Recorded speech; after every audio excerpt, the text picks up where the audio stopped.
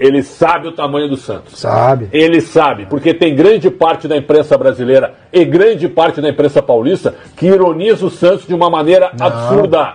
Que ironiza o Santos de uma maneira absurda. Aliás, grande parte da imprensa de São Paulo, eu que estou aqui há 12 anos, alivia para o Corinthians, critica o Palmeiras, tem medo de São Paulo e ironiza o Santos. Acho que acabou acabou esse penúltimo aí, meu Ah. Xandão.